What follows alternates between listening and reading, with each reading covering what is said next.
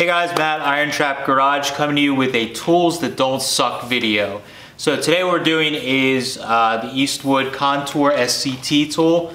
Uh, this is a stripping tool that you see us use quite often in the videos and pretty much every time we use it we always get questions of what was that sander that you guys were using and uh, we usually drop a link in but I figured it was good to do a video where we actually talk about this tool. I could tell you some of the reasons that I like it and how it could be helpful to you guys. So the Contour SCT is an inline drum sander. So this tool takes uh, a drum that they, they come in a bunch of different grits and configurations. So what I have on here is the abrasive drum that's for stripping uh, multiple layers of paint, rust, body filler. You can actually dig body filler out with this. And this is a really tough drum. Uh, you probably saw in the video when we were stripping the turtle deck to uh, see what the damage was underneath. Andrew was using this to dig it out. Nice thing is that the tool is, uh, has a gearbox in it, so it's gear driven. It's not like a belt drive. So because it's gear driven, you can really hammer down on it and put some weight into it to actually dig out old paint and body filler. And it's a lot quicker than trying to use like a grinder or sander with an orbital disc. With this, you're able to push down and you can take out wide bands of material uh, really quickly. What you can do uh, after stripping is you can switch this drum out. There's a bunch of different drums that are available. The tool comes with a finishing drum that is basically like a Scotch-Brite type material um, or scuff pad that you would use. That is uh, what that one is. That's really good for conditioning metal. So you may see in some of the videos, we take a piece of sheet metal that I have laying around and just from it sitting around in the shop, it gets some flash rust on it. So what we'll do is we'll take the tool, we'll, we will strip off uh, the surface rust. It's gonna give us nice, clean, fresh metal that we can work with and you're not running a part that has rust in it through your English wheel, through your bead roller, or any other tools. It's gonna keep everything clean and keep the rust off of those things.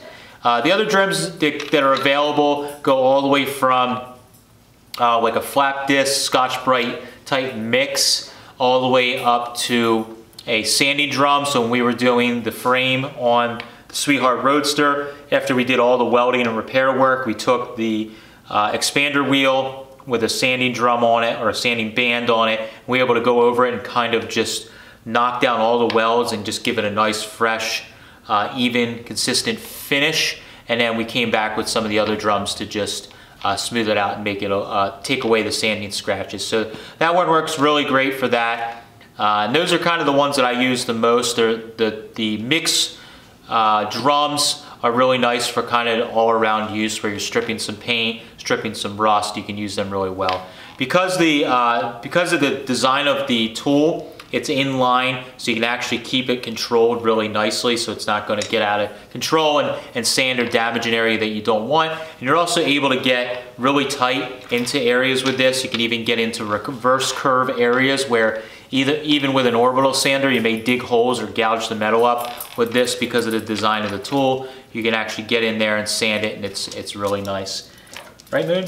So uh, that's the uh, Eastwood Contour SCT. It is a tool that is heavily used here. We beat the crap out of this thing and it keeps going.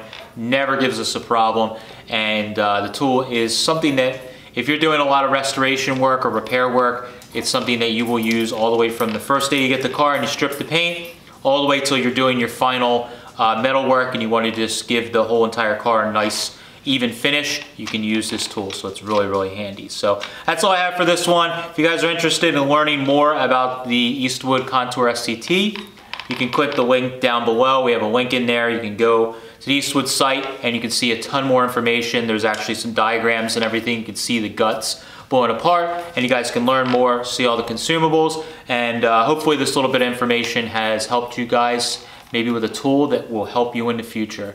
As always, we do videos on Tuesdays, Fridays, and Sundays. If you haven't already, make sure you click that subscribe button. Thanks guys, catch you later.